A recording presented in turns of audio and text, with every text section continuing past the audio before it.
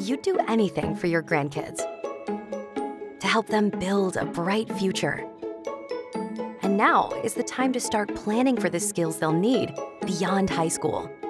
Open a CollegeInvest 529 savings account for them today.